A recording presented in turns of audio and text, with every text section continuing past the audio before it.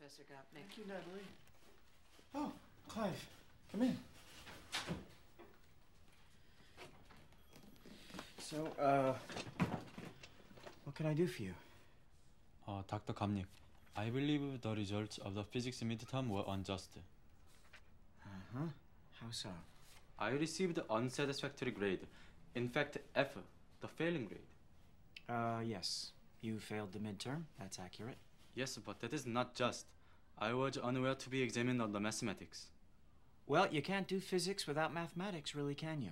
If I receive the failing grade, I lose my scholarship, and I feel shame. I understand the physics.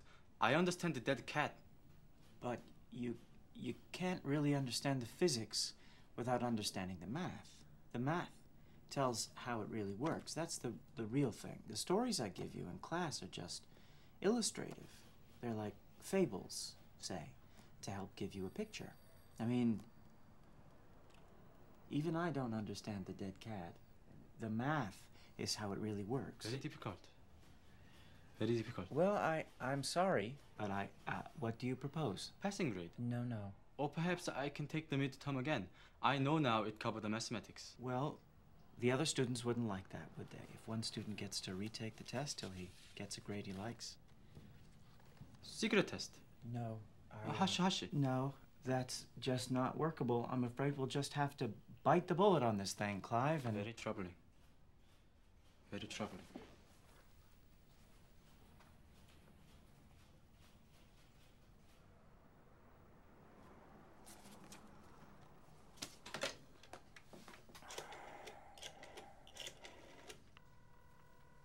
Cy Abelman?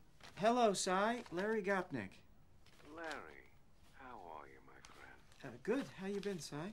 Oh, fine. Can we talk, Larry? What? You, uh, Hello? I, uh, Larry? call back. Clive?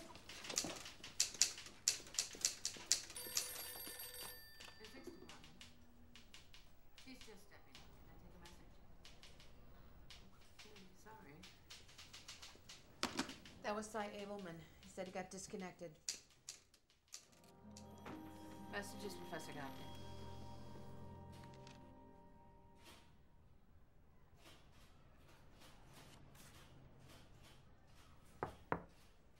Yes, thanks for coming. Clive, have a seat.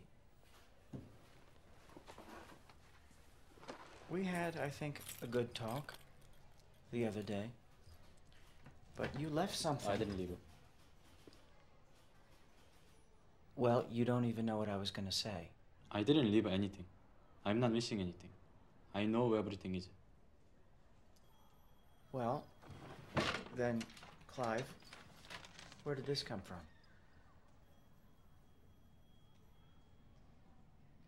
This is here, isn't it? Yes, sir. That is there. This is not nothing. This is something. Yes, that is something. What is it? You know what it is, I believe. And you know I can't keep it, Clive. Yes, sir.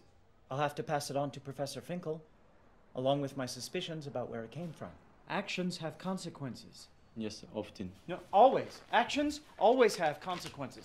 In this office, actions have consequences. Yes, sir. Not just physics, morally. Yes. And we both know about your actions. No, sir. I know about my actions. I can interpret, Clive. I know what you meant me to understand. Yes, sir, my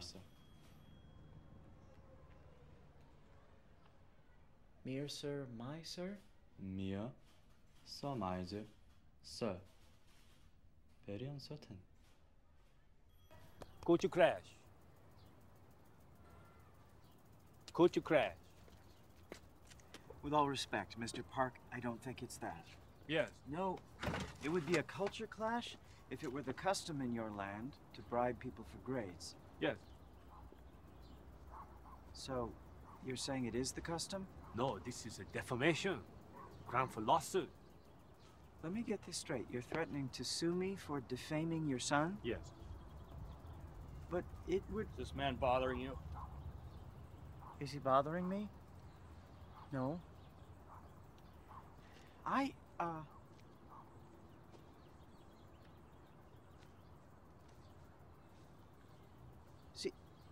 Look, if it were defamation, there would have to be someone I was defaming him to, Or I. All right, I. Let's keep it simple. I could pretend the money never appeared. That's not defaming anyone. Yes. And uh, passing grade. Passing grade. Yes. Or you'll sue me. For taking money. So he did leave the money. This is defamation. It doesn't make sense. Either he left the money or he didn't. Please, accept the mystery.